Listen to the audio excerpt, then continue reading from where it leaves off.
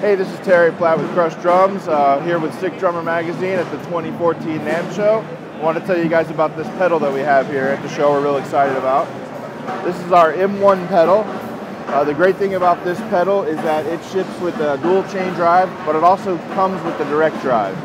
So one pedal, you don't have to go out and buy two pedals, you get that. Another great feature on this pedal this year is that in about 90 seconds, you can convert this pedal from a longboard, which is the way it's set up now, back to a standard. By just removing these two screws and replacing them right here, you also have a long and a standard board in one pedal. So the, the foot plates are all machined aluminum, um, heavy duty coatings on everything, uh, adjustable cam, you can slide it forward and backwards depending on the aggression that you want with the pedal. It's just a rock solid pedal with the basic adjustments that every drummer needs in a pedal without getting crazy with it. So that's the M1 series bass drum pedal. And the other thing that we have here in the M1 series is the new hi-hat stand. And uh, the hi-hat stand is really great. It's a two-leg stand as you can see. Cool thing about this stand is that it's very stable on the ground. You can play side to side. There's no wiggle, no wobble like you get with a lot of stands. But at the end of the night, when the gig's over and you lift it up, it folds up quick and easy. So you don't have to get any tools out to fold it up. Happen, set it back down on the ground, and it's locked back in place. And it stays just where you want it all night long.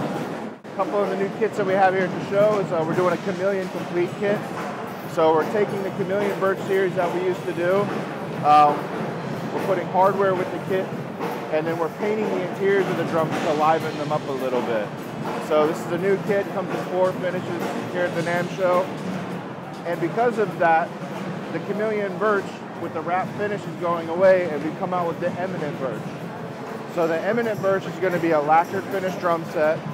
Um, what you're going to get is the four-point mounts, the integrated memory locks, uh, comes with a two-position cast bass drum spur, and it's got the same uh, lugs on it that you'll find on our acrylic series of drums. So those are the two new series for the show here this year.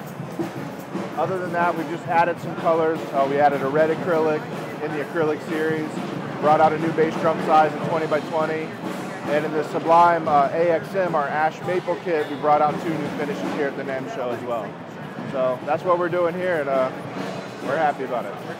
Hey, check out more about Crush Drums and everything new that's going on at crushdrum.com.